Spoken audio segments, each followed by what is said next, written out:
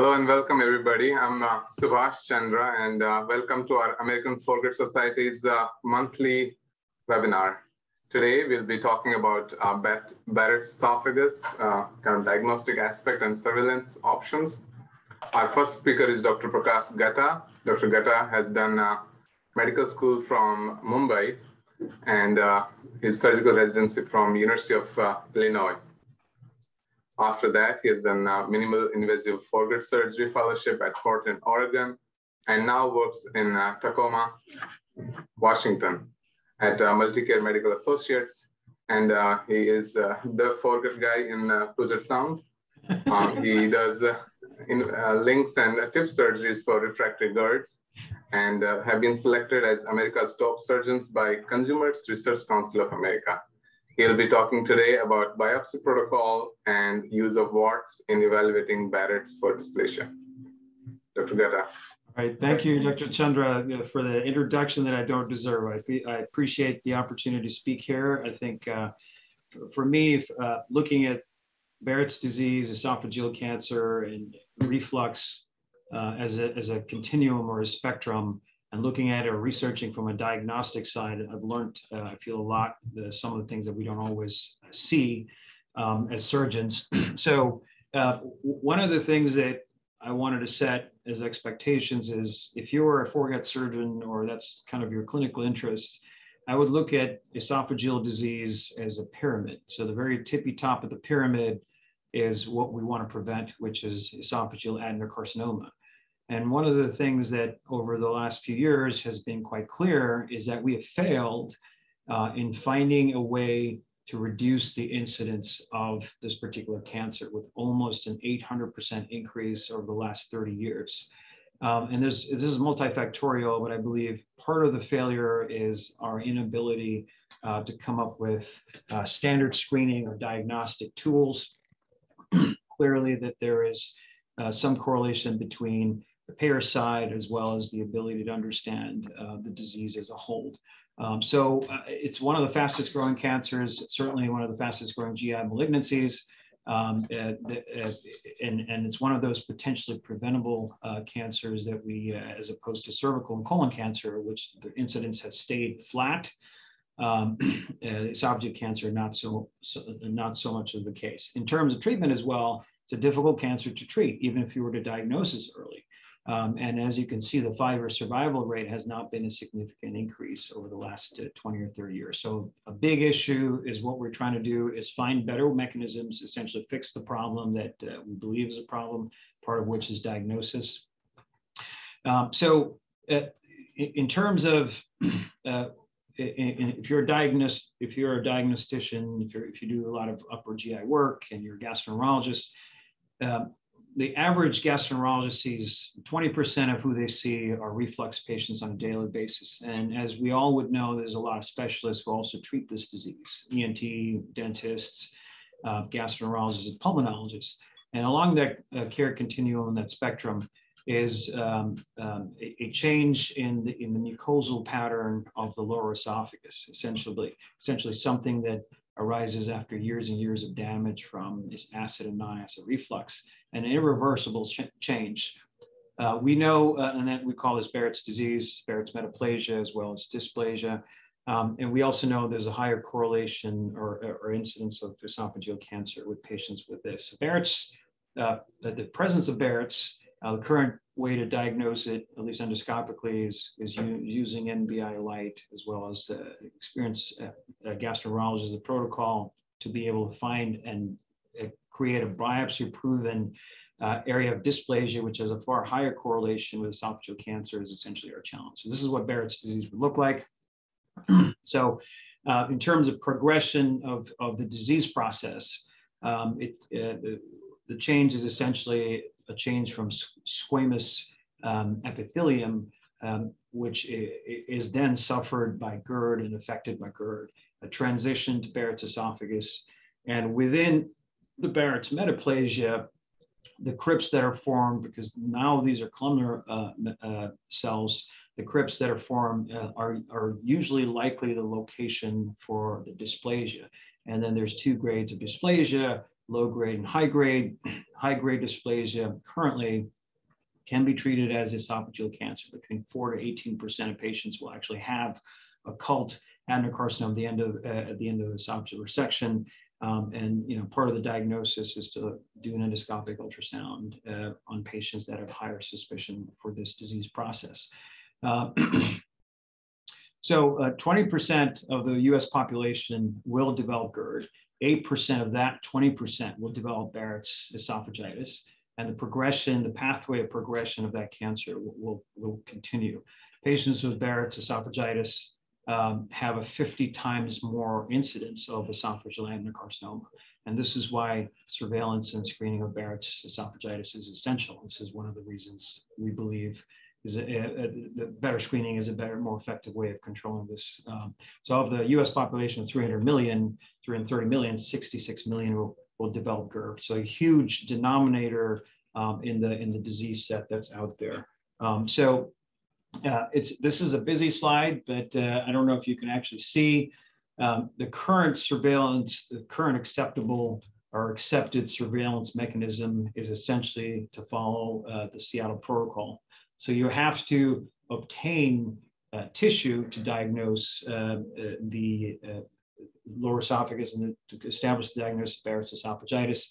And once those histological findings are found, uh, presence of Barrett's um, metaplasia, whether the biopsies are indefinite for dysplasia, typically what we do is recommend a rebiopsy at three to six months after initial treatment.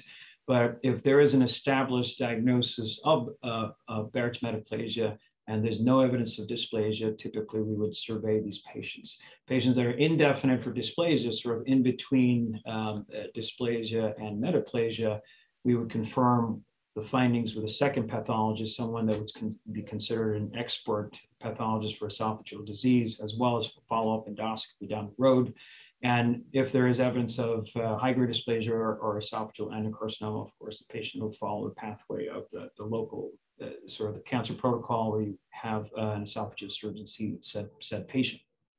So, uh, so what is the Seattle protocol? Um, the Seattle protocol basically is, is the, the mechanism to obtain tissue biopsies using random four quadrant biopsies separated by two centimeters in the distal esophagus.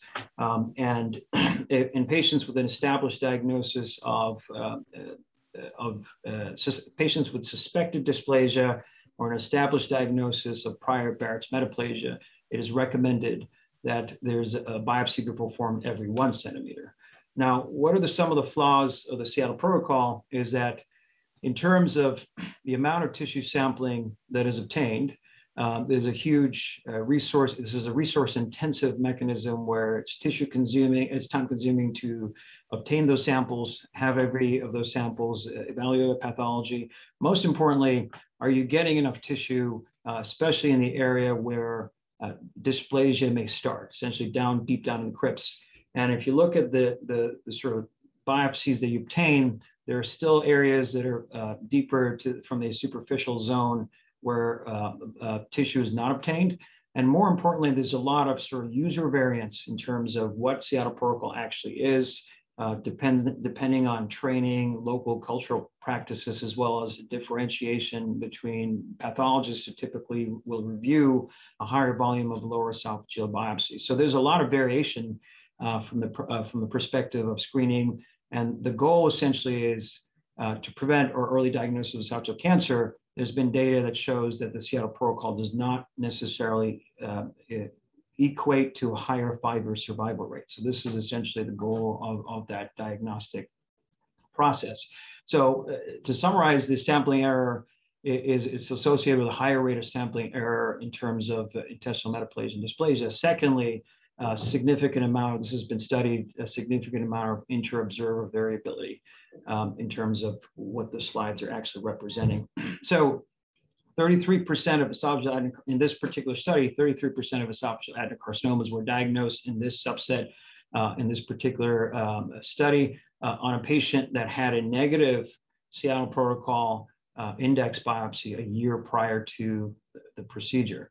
Um, there was no significant mortality reduction at five years in patients where uh, Seattle protocol was, was borrowed. So enter uh, uh, the, the, WATS instrumentation. Uh, I, I, present this uh, as a way to essentially differentiate between the, the, the typical superficial um, biopsies as well as what a WATS instrument biopsy would look like. In terms of where the dysplasia is, these are the red cells that are deeper down in the crypts, uh, the tissue diagnosis that we actually want. Um, so those crypts uh, are much better accessed using a WATS instrument. Um, the, uh, the area of tissue sampling is larger, um, and how WATS is different is the, the, the tissue obtained uh, is run through um, a, uh, um, a vision platform using artificial machine learning intelligence software that would allow for um, every biopsy is still reviewed by a pathologist, and I, I was uh, I had a chance to connect with a company to figure out how a pathologist can obtain a specimen from a patient in Washington State where I'm at. Um, how the pathologists work with this particular company is once the biopsies are obtained and these biopsies are run through their uh, machine learning algorithm, uh, what would happen subsequent to that is the biopsies that are concerning are red flagged to an expert panel of uh, esophageal pathologists. And these pathologists have national licenses in all states, or how, as, as is governed currently, uh, the where the specimen is going, which is typically New York State, the pathologist is has licensure in that particular state, so it's usually covered. Um, but for pathology, it's not something I've had to think about before. If you send it out to another state, um, typically where the specimen is received in that particular state, the pathologist on that state can can see that. But they have an expert panel who review every slide. Um, and the, uh, the, the difference between the technology is significant because um, uh, a combination of the Seattle protocol with the WATS biopsies appears to uh, correlate to a much higher rate of diagnosis of uh, Barrett's esophagitis. Um, again, this is a, a, good way to sort of summarize what happens. It's, it's an interesting combination of an endoscopist performing the biopsy with this instrumentation, um, a, a machine learning algorithm that actually sorts through the histologic slides to look at which of these specimens actually are of concern, and then uh, another one with hu a human being trained uh, and specializing this particular disease set um, that can review these particular slides. So this is a 3D rendering of what uh, the specimens would look like um, using the, the, this particular disease, uh, instrumentation. Let me see if I can get this to play. During an upper endoscopy, highly focal dysplastic cells are often hidden among mucosal areas of the esophagus, usually without any visible clues to show the clinician where they may be located. WATS3D uses a specially designed biopsy instrument that covers a greater circumferential area of the esophagus, providing a wide area, full-thickness mucosal tissue sample down to the muscularis mucosa, gathering cells, cell clusters, and intact tissue fragments in a unique disaggregated specimen that is up to 150 microns thick. To overcome the challenges of a tissue sample that's 50 times thicker than a traditional histology specimen, WATS3D uses a proprietary 3D imaging system with extended depth of field to capture all the layers of a thick smear into 20 to 40 independent sections, all in precise focus. CDX patented technology merges the digitized slides into a single synthesized 3D image. This unique dimensional view of the specimen presents a much clearer image of cell nuclei and mucosal crypt structure, enhancing the pathologist's ability to examine cells in relationship to each other, ultimately leading to a more accurate diagnosis of Barrett's esophagus and dysplasia. Once the whole slide is scanned, artificial intelligence is employed to reliably identify dysplastic aggregates hidden among normal esophageal tissue. A neural network trained by expert pathologists uses an advanced algorithm to consistently analyze every pixel of the digitized specimen. First, the algorithm looks at a variety of lower-level features such as texture, color, shape, nuclear size, and nuclear cytoplasmic ratio. Then, it evaluates a combination of individual lower-level features, groups, and clusters, and compares these findings to a previously learned training data set. Finally, the computerized cell images are highlighted and ranked according to their degree of atypia. Areas identified by the AI system with the highest probability to be precancerous are then displayed via computer monitor to the pathologist, allowing them to quickly and accurately identify dysplastic cells that may otherwise have been hard to distinguish or even missed completely. Essentially, uh, it's very interesting software and sort of employment of uh, latest technology along with human knowledge. And the result appears to be that uh, number one, there appears to be a lot more inter-observer agreement amongst pathologists with the newer mechanism of tissue sampling. And it also appears to translate into a much higher detection of uh, the disease set that we're trying to not miss. So, and up to 167% increase. Um, so uh, the yield is higher, uh, there's, there's a lot less uh, disagreement among pathologists about the diagnosis. And hopefully this would translate into um, a lower rate of these cancers, 33% as we saw on that particular slide, um, a lower rate of missing these and earlier detection of the disease. So I appreciate the ability to present this uh, very interesting uh, subject for our webinar. Thank you, Dr. Gutta. Um, we'll come to the questions um, at the end. Our next speaker is Dr. Houghton. Dr. Houghton is uh, from Los Angeles, California. She finished her medical school at Wayne State, uh, followed by residency at um, University of California, Irvine. She completed her minimal invasive surgery and advanced endoscopy fellowship at um, University of California, San Diego. Um, currently, she practices under Keck Medicine at USC um, and uh, she is well known for her expertise in uh, robotic foregut surgery and pioneered their POEM program. she'll be discussing about cytosponge, biomarkers, and optical imaging in Barrett's surveillance. Hi, how are you guys? Um, thanks for having me. Um, and you know, Prakash's portion of the of the talk really sets us up for then what else what else can we do? And as we know, um, from what he said, Barrett's diagnosis is in diagnostics um, traditionally has been the use of endoscopy with the combination of pathology. So you want to see the um, salmon colored tongues and mucosa endoscopically, and then have that pathologist pathology confirmed with the goblet cells um, in the esophagus. And as we uh, communicate this with each other, and as we're diagnosing patients with Barrett's, we tend to use the Prague classification um, to document the circumferential margin and then um, the maximal extent. So uh, as far as standard standardization of uh, Barrett's, we'll often see that, you know, we can gauge from uh, endoscopy to endoscopy, whether this is progressing, regressing, um, and I think it's important for all of us to know kind of the standardization of how to report it on endoscopy. Um, we'll see the circumferential margin um, maybe six centimeters from the G junction, like in this, uh, in this diagram. And then the maximal extent, there may be one little tongue that comes up a couple centimeters uh, more. So you'll report the C as the circumferential and then the maximum. Uh, this will help with just how we go about um, communicating to each other between GIs and surgeons about Barrett's disease. But as we know, and what was high, has been highlighted already is that there's limitations for not only once we see Barrett's, okay, yeah, you saw it, you wrote it, you class or um, kind of di- wrote down where, how extensive it is. Um, but then what do we do from there? What do we do with those patients? How is how are we going to screen them?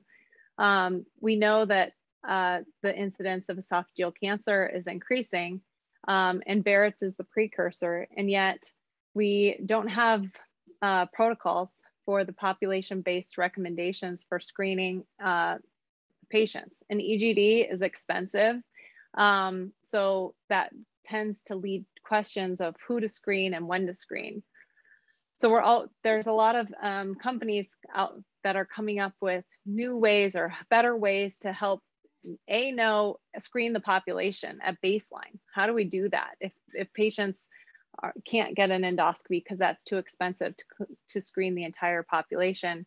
And then um, with the patients with barrett's how do we A, predict who's gonna go on to get esophageal cancer. How are we gonna better diagnose um, dysplasia um, and metaplasia and kind of classify them uh, with their Barrett's to know their true risk. WATS is a great adjunct to the Seattle protocol, um, but what else can we do? Well, the cytosponge is uh, a very interesting idea. Um, and it's actually, you know, one of those, uh, it's a population-based screening tool without endoscopy. Uh, the cytosponge is a small little capsule that can be swallowed by the patient, either in the, probably usually in a clinical setting. Um, it expands like a grow a sponge, um, like when you were little and you put the sponge in water and it grows inside the stomach and then it has it's connected to a little string that you can pull out and it scrapes the inside of the esophagus to give um, cells for pathology it's easy it's non-invasive it's affordable screening test um, basically how they then analyze the cells for this trefoil factor 3 which is um, uh, one of those factors that's seen in Barrett's. The sensitivity and um, and, sense and specificity for this is is good. So um, this is a, a video of how this cytosponge works and hopefully it will play. There we go. The cytosponge test is a simple solution for collecting cells from your esophagus, food pipe. Enjoy the British accent. This innovative solution uses a small capsule-shaped device the size of a multivitamin pill. A thin string is connected to a sponge inside the capsule. When you swallow it with water, the capsule dissolves and the sponge expands in your stomach. The string is then gently pulled to retract the sponge. As it's retracted, the sponge collects cells from the entire length of your esophagus. Cytosponge, a simple solution for collecting esophageal cells.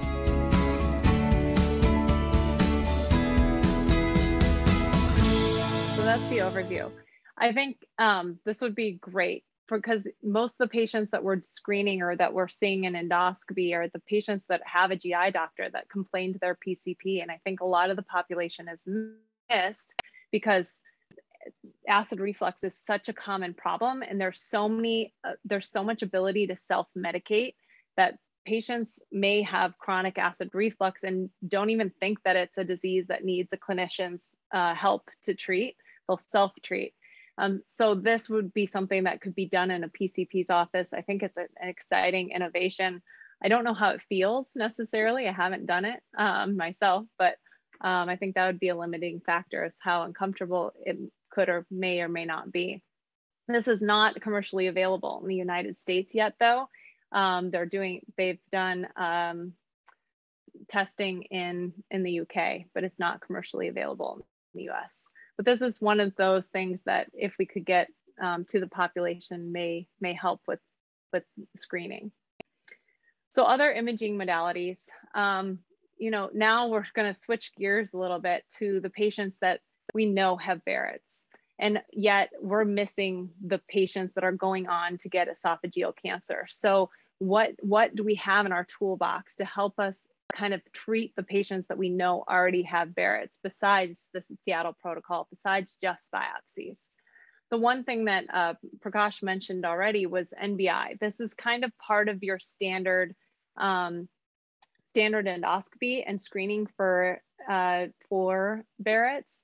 It's done during an endoscopy. Most endoscopes have um, NBI available by the click of a button. So this really should be part of the standard um, protocol. Um, basically, it filters with the within the endoscope to emit a certain wavelength of light to visualize the mucosal patterns and highlight the mucosal patterns a little bit better so that we can look for areas of, of um, metaplasia or evidence of dysplasia and help guide our biopsies a little bit to the better to the high um, yield areas. It's about 90% sen uh, sensitive and specific. It's easy, it's click of the button. I think most uh, endoscopists are very comfortable with narrowband imaging, and this is, I think, used routinely. Um, it can help pick up um, metaplasia eh, versus high grade dysplasia. intestinal metaplasia will look like fine capillary patterns with this ridged or villus pattern. And high grade intestinal, high grade um, dysplasia and even intestinal neoplasms have increased capillaries with tortuosity uh, in a dilated or corkscrew pattern. So these are just some examples of how you can use NBI, NBI to pick up um, areas that are high risk. There's other imaging modalities out there. Like, so the next one I'm gonna talk about is Cellvizio. So Cellvizio um, is kind of like a probe. Uh, it goes through the scope. It's a through the scope probe that can visualize um, the mucosal uh, areas up to 150 microns deep, which is the area where you'd find Barrett's. And like you, like um, Prakash said, that's where those crypts are, and that's where we can really see uh, dysplasia. So it can visualize those areas and give us a better, hist it almost gives us a histologic image without sending tissue to pathology. So we can see that endoscopically, that histologic pattern endoscopically. You do have to give IV, IV fluorescein or some, kind of dye um, in order for this to work. Um, and it's highly sensitive and specific. Um, here's some pictures of kind of how that works. It's a through scope probe. Um, and then on the end endoscopic image, you focus the probe on the areas of the Barrett's where you want to look. And in the bottom picture, you see that histologic pattern. You can see it, it enhances, um, allows us to almost be a pathologist during the endoscopy. Here's some examples of the images you could see um, and kind of the patterns that would alert you to um, pick up metaplasia or, or uh, high grade dysplasia. Um, the normal, A is normal.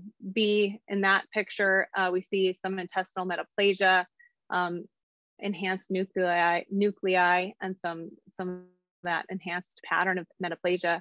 And then Barrett's esophagus on the far, um, well, the right side of the screen. The other thing that's nice about this technology is that it's can use be used in the esophagus, it could be used in the stomach, and can, it's even been um, uh, used as, as a, in the bile ducts like ERCP. So it's it's very versatile as at looking at this histologic picture, and it can even pick up H. pylori, for example, in the stomach. Um, you can see in these pictures, they're saying these little white bright dots is H. pylori, and you can and it uh, correlates to the uh, pathologic staining at the top. Um, you can pick up not only that they're present, but then also how much of it is present um, in the load of H. pylori. This is a very interesting imaging modality, um, and it does help us see that histologic pattern, um, but you have to know what you're looking at. And I think that's been kind of the um, limitation to this um, to this modality is that you have to have training. You need intense training to know you can see those pictures and see the histology, but you almost have to understand like a pathologist what you're looking at. Um, does survey high risk patients. So where I think this could be useful is in um, clinicians that are specializing in Barrett's and treating those patients um, and need we need screening to see if there's some high grade dysplasia or concerning areas. I think this could help. Um, it's, it can guide biopsies to more suspicious areas. So we can, if we learn those histologic patterns, it helps target very high risk patterns and it can also help guide EMR. So if you're gonna, if you find a area of high grade dysplasia that may be um, uh, indicate you could do EMR for, this can actually help not only find the margins of where you need to resect, but also determine the feasibility of EMR. I said at the beginning it was only 150 microns. So if you see um, that the the distortion going deeper than than that area, then maybe this patient is not an EMR candidate at all and and would have to um, go to a surgical intervention or, or um, have some other modality. So I think there's limitations, but I also think that this could be very helpful in the right hands. It takes some time and training, but I think um, when used right, this could, could definitely be a benefit. NinePoint is another uh, one of these types of um, modalities that can help endoscopically visualize tissue. This is more like endoscopic ultrasound. Um, it's it quickly obtains cross-sectional area and longitudinal images and shows um, irregularities within the mucosa. Uh, it's has a very interactive user face, so you can kind of scroll up and down on the screen. It's a touch screen. Um, and it can also mark targeted areas. And I have a video that kind of that shows what this looks like. Um,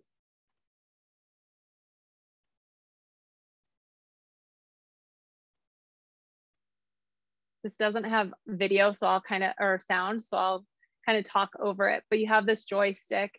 Um, this is your navigational pad, as it says um, and then a laser trigger, and that's used to burn or mark areas that look concerning. So you have some kind of indication on the mucosa of where that area is. Through the scope, you place this balloon that you then inflate in the esophagus.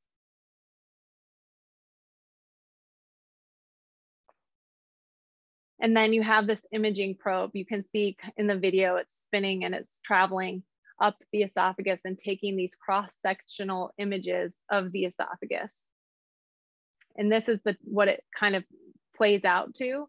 So now we see the cross-sectional images as we go along, spanning the whole area of Barrett's and you and then there's a irregularity there in the mucosa that we can target and you can press the button to make these little burn marks and and that can show you the border of where that irregularity is.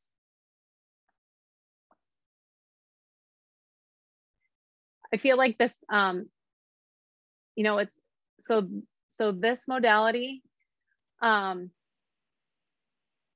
in the studies that I looked at had some inter-observer uh, variability is high as far as what you're looking at and, and deciding what is irregular and what's not. There is an again training skills required in interpretation it's similar to eus so you have to have that skill in interpreting uh, what you're seeing um, similar to that of ultrasound. It is expensive and the other drawback is it's not very versatile. So cell Cellvizio you could use in the esophagus you could use in the stomach bile ducts um, this is a balloon. It's made it's really tailored to the esophagus um, and so that's been one of the criticisms of this of um, of this imaging modality is that it's it's almost too niche. But I it for Barrett's, if we're talking about Barrett's, I actually think it it's a really nice platform. Um, I think it's a little bit easier to use and pick up those uh, those uh, abnormalities in the mucosa than seeing a histologic pattern uh, necessarily. Um, and then it I, I really think it's useful again for emr you can you can mark those areas the borders of their irregularity. Um, so if you're going to resect that area of barrett's or that nodule nodular uh, barrett's you can you can resect that at that time. Um, again you could target biopsies and maybe pick up more high grade dysplasia than you would if you're just doing random biopsies of the whole area of barrett's as well um, the last modality I'm going to talk about um, is tissue TissueCypher. So this is not an imaging modality. This is um, kind of trying to answer that question.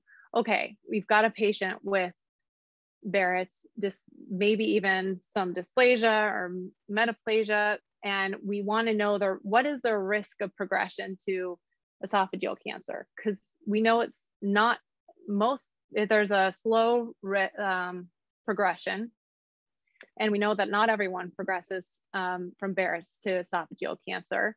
And that risk seems to be different uh, from patient to patient and so TissueCypher, as the picture kind of shows it's it's trying to be the crystal ball for us it uses forceps biopsies specimens so the specimens that you're obtaining anyway for the seattle protocol um, and you can send them out to this um, to uh, the lab, the TissueCypher lab, Um, and it can predict the risk of Barrett's progression to either dysplasia or um, adenocarcinoma.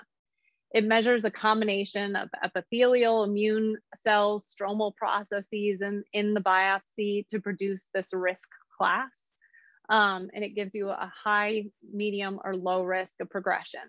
Um, and so that may help you uh, tailor your surveillance protocols to, okay, this patient may not need an endoscopy every year. Maybe they can go three years if they're on the very low risk um, group versus the high risk group. You may need want to resect that area um, of um, of high, high risk tissue. Um, the sensitivity for this in, in the high risk group was pretty low, but the specificity was high. So they're, you know, they they have a little bit of work to do, I think, as far as like getting their risk algorithm to be as accurate as it can be. Um, but these are some of the examples of the staining that they do. They do multiple staining. They use AI as well. It's not just, um, you know, they put it through a whole AI and uh, pathologist type of a screening protocol to come up with this risk. Uh, I think we all know that there is a challenge of determining uh, who's going to progress. We need, as clinicians, I think we need better ways to not only identify Barrett's and catch more patients earlier on with um, Barrett's esophagus, but then once we do, uh, I don't think our, our screening mechanisms are good enough. Screening every three years, we miss patients, or even if we're very diligent and we're doing the Seattle protocol, we can, there's so many areas within that area. If we're just doing random biopsies, we're missing. So these, all these imaging modalities are there to um, help us find those high risk areas and be able to intervene um, earlier so that we don't have so many patients going on to esophageal cancer. Um, I, I think in combination, if we can, these modal, I think the modalities that I've talked about, I think the, um, the send out lab is easy. Uh, that one is just, you're doing the Seattle protocol anyway. You can send this lab out to kind of get a risk score to understand who may be higher risk in your patients and you may screen them more often um, or intervene in a more aggressive way. I think the other two modalities, the NinePoint and Cellvizio, I think are going to be are really good for those high risk patients, like um, in the males in their 50s, that long chronic GERD that have long segment Barrett's, um, to really do a good screening. I don't think that's going to be part of your every clinician's day-to-day protocol because of the time constraints. Um, but I think for screening for high-risk patients, uh, those are come in really handy. And I think those should be included uh, in centers that are taking care of Barrett's patients, at least one of the two. Um, that's all I had for you. That's what's on the horizon. I think it'll really help us as clinicians combat both Barrett's and the progression to esophageal cancer. Thank you. Thank you so much, Dr. Houghton and uh, Dr. Gatta. Uh, that was wonderful. And uh, we are um, on time, so we have about 20 minutes to go through some questions and discussions about um, aspects in using these techniques in clinical practice. Um, I'll, I'll ask those questions first, which were posted on the Q&A section uh, from Dr. Adam Chvisco uh, his question is to Dr. Gatta. He says, um, what is the influence of PPIs on WATS3D results? Should PPI be stopped before Seattle protocol or WATS? That's a great question. Um, so I was thinking about this. I don't, first of all, I thought I didn't know the answer, but then if you think about it, if you have a patient that comes in uh, underdiagnosed or presenting for the first time with reflux disease, you get an endoscopy and the patient has severe erosive esophagitis, like grade C or D, Los Angeles grade. Typically, what you would do is treat those patients because you can't biopsy them right now or biopsy them in an effective way to rule out Barrett's esophagitis. So you typically put those patients on, uh, you know, two to three months of PPIs and bring them back Um, so I would expect that a lot of patients that who do get Seattle protocol uh, or WATS biopsies are actually on chronic PPI therapy because these are symptomatic patients. Um, so, you know, I would I would also submit that I believe all the studies and the effectiveness of both the protocol Seattle versus three, uh, WATS are probably patients who have had chronic changes from being on PPIs chronically. Uh, I don't think it affects the the efficacy or so the yield in a negative way. I think that's just the disease set. You, Dr. Houghton, do you think any differently? No, I, I, agree with you. I think most patients that we're biopsying uh, with Seattle and WATS are on chronic PPI therapy to treat their disease. So I think most most of those patients and it shouldn't affect it. Yeah. And if if at all it should help as we often get this indeterminate for dysplasia patients who are basically untreated um, reflux injury, which kind of muddles the results. Therefore, I think I agree, as both the panelists said, continue them on PPIs or treat their reflux well before um, biopsying just to get a clearer picture. Um, perfect. Um, next question um, from Anonymous for uh, Dr. Houghton. Um, since Cytosponge is not commercially available in the United States, have we considered EsoGuard or EsoCheck, which is a silicone balloon that is commercially available in the United States and has more than 91% sensitivity and specificity? Mm-hmm.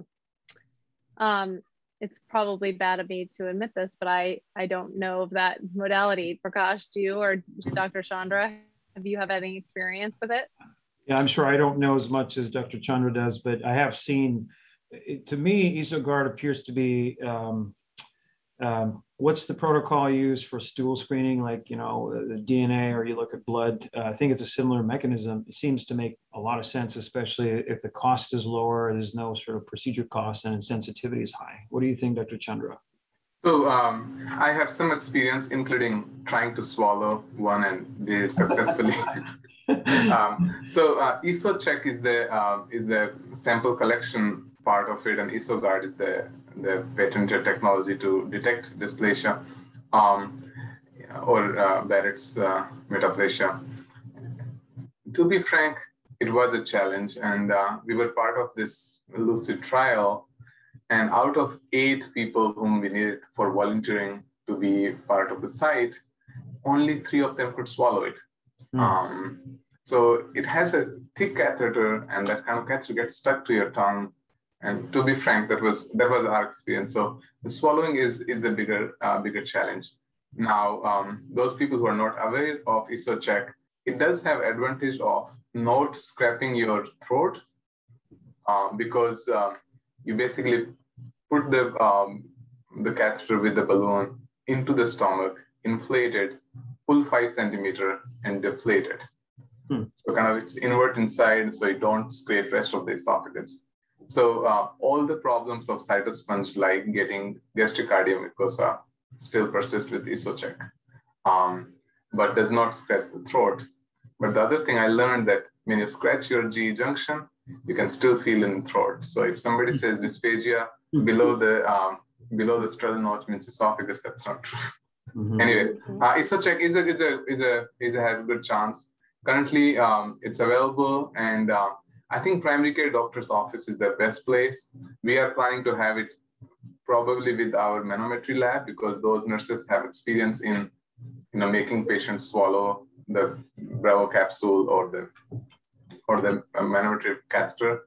So that's uh, administering is it's a challenge and you probably need a lab and you don't get much uh, out as a GI practitioner. So primary care doctor through the manometry lab is the way to go, I guess. Um, okay, our next question by um, Dr. Fanes. Uh, what happens if biopsies versus WATS produce conflicting results? Can I answer that? Um, so I was thinking that, uh, so the whole, the whole point of WATS uh, is the yield is higher. So you're, you know, if, if for example, the same patient had Seattle protocol once and then WATS the second time, uh, I would think with the yield of the WATS as being higher, you would obviously gravitate towards um, the abnormal results on the WATS. Um, it, so it, and uh, so what I'm saying is a false negative rate is probably higher in the Seattle protocol. So if there is a disparity between the two biopsy techniques, I would obviously go with whichever one shows abnormality, even if it's Seattle protocol and the WATS was negative. So I would treat that as a, you know, I'd be more concerned about uh, the abnormal finding no matter what it was. Yeah. Right. I agree. Yeah. I, I, um, I've had that situation. We usually would do the um, WATS and biopsy actually on the same patient. So we would do the WATS brush and then we would take some biopsies as well. And I, I found that if there was going to be um, Bar even Barrett's found or dis any kind of dysplasia, it was more often seen on the WATS uh, than it was on the forceps biopsy. Dr. Chandra, yeah, that's, that's, that's consistent with our overall Barrett's management. You always make a decision based on the worst possible or worst histology detected. So if patient has high grade dysplasia once and the next time has low grade, you treat them like high grade. So that's consistent with the with the overall approach in Barrett's esophagus. Uh, I have a couple of more questions, uh, and these questions are for both Dr. Gatta and Dr. Houghton um, about the WATS. In your clinical practice, we, who is the patient you're using? Are you using for surveilling a long segment Barrett's esophagus or screening for people who have irregular Z-line or looking for recurrence of metaplasia in a person who has Barrett's eradicated? So, so the question is, is who is the target for WATS? Yes. Yeah, so first of all, uh, you know, since, since I do far less diagnosing of the disease, uh, having having a surgical specialty, this is a question that thankfully I don't have to answer often. But I would say that um, I think the when you think about inter-observer variability, so I think the uh, sort of irregular Z line as as a um, trigger uh, to do more aggressive, you know, treatment or workup I don't think is very reliable. I think the you know, long segment Barrett's obviously would be uh, you know the, the, subset of patients that, as uh, Caitlin had described, the sort of 50 year old white male with um, long segment Barrett's, long-standing history of uh, reflux, smoking, high risk factors, et cetera, would be the primary target. Now, I think we here uh, in a society like this uh, if there are recommendations being made to Medicare, for example, as to who the screening should be done on first, you know, as we have for colonoscopy screening, uh, you know, familial history, that would be that ideal subset of patient where you you would have Medicare or a payer pay for screening.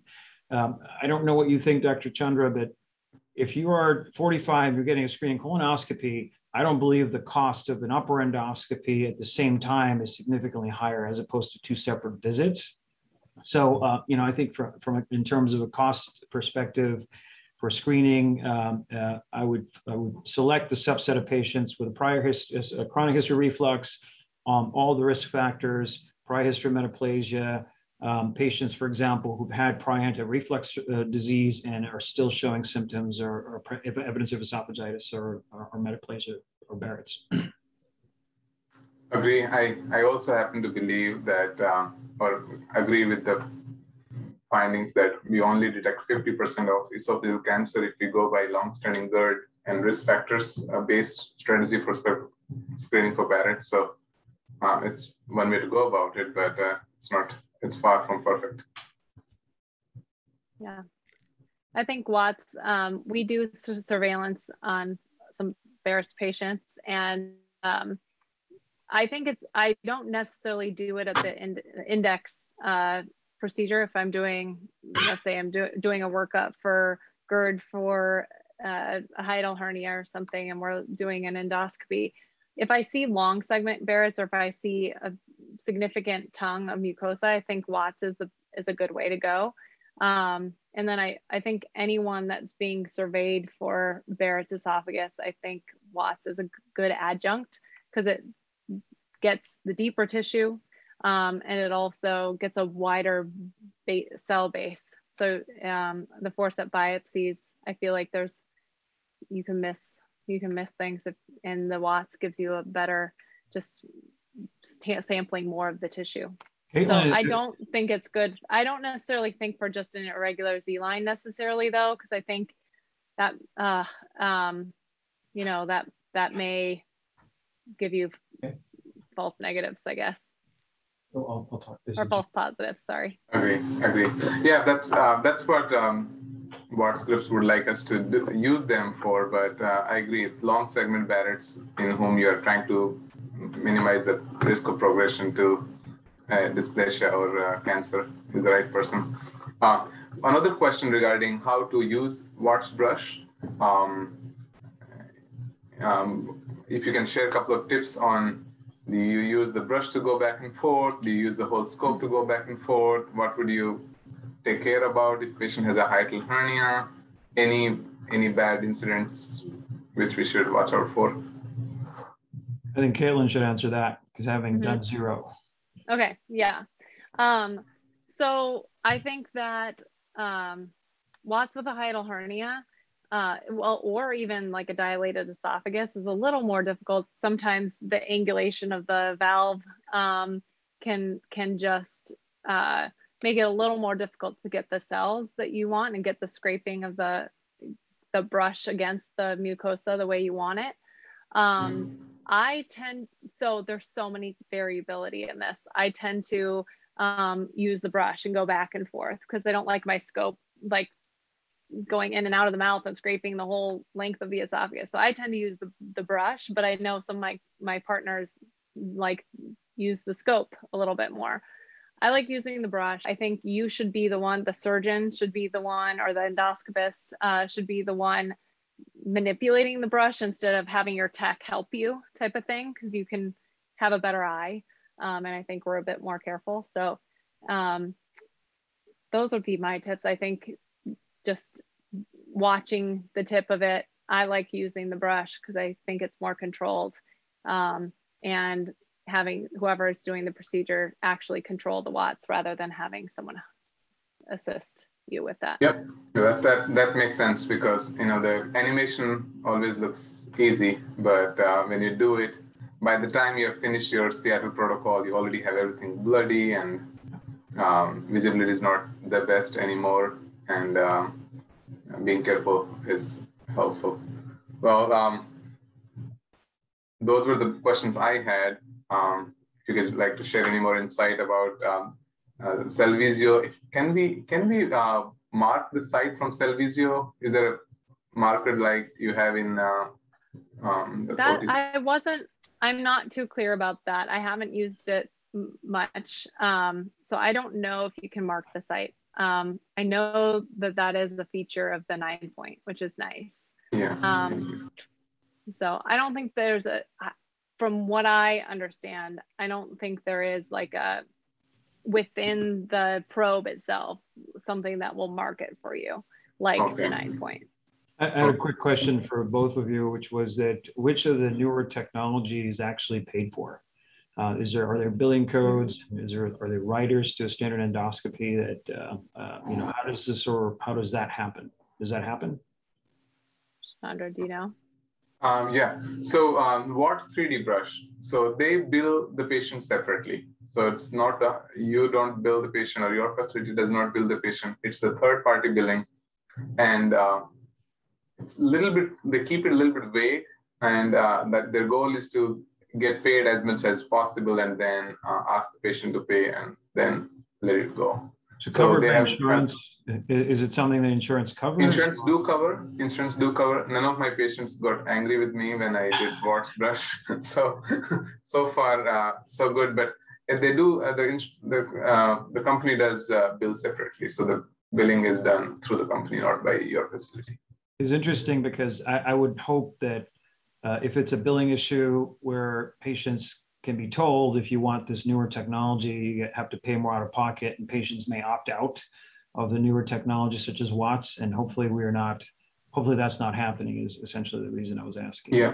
So how I've been going about it is that I would inform the patient that this is what we are doing, and you will be getting two different bills: one bill from our facility, and then another bill for the WATS3D brush, and inform them why why choosing WATS versus just what we were doing before.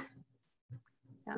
Dr. Chandra, you know, I know in a busy practice, we endoscopists or anyone doing endoscopy, there's a lot of pressure to get a lot of people through um, and and kind of keep it you know, keep it moving. And and some of these newer modalities, like the imaging modalities, like Cellvizio and NinePoint, they take time. You have to slow down. You have to take your time. They they are a little more intensive.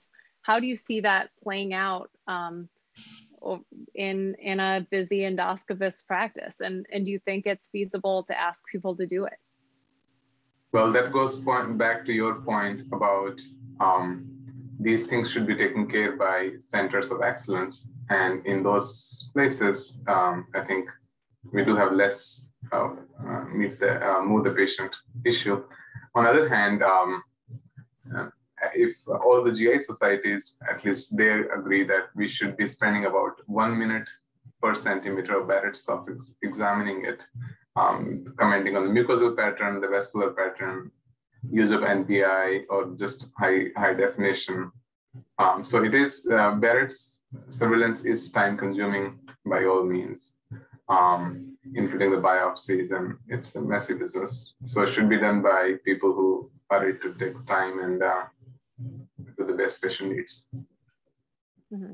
I think the patient, the, the procedural, the GI proceduralists who are doing EMR, I think those things are helpful to help gauge. I don't know what you're doing now. Are you using mostly endoscopy? I mean, ultrasound to help gauge those margins, or is it just visual? We have been going by EMR being the best uh, staging uh, tool for uh, Barrett's dysplasia. So we go by imaging anything abnormal, be proactive in doing the EMR. Uh, we so far don't see a role for EUS, at least uh, amongst the gastroenterologists is that um, if you find a, we say it should be done by a person who feel comfortable doing EMR, because if you don't do EMR, you'll make a case to not needing an EMR. So um, it should be done by a person who is liberal in doing EMR. Any abnormal area should be EMR, and that's the best staging. EUS in the mucosal level has not been that helpful so yeah. far. Yeah. So are you using some one of these modalities to help you gauge the margins then, or are you, it's on a, it's basically just, visual? Just based on uh, high definition, maybe some NBI. Mm-hmm. Okay. Well, that brings us to 5 p.m. And uh, thank you so mm-hmm. much, uh, you guys, for um, doing this. Thanks, Dr. Chandra. Yeah. Good to see you, Caitlin. Yeah, good to thank, see you. Thank you, thank you for the thank opportunity to speak. Thank you. Bye-bye. Thanks, everybody.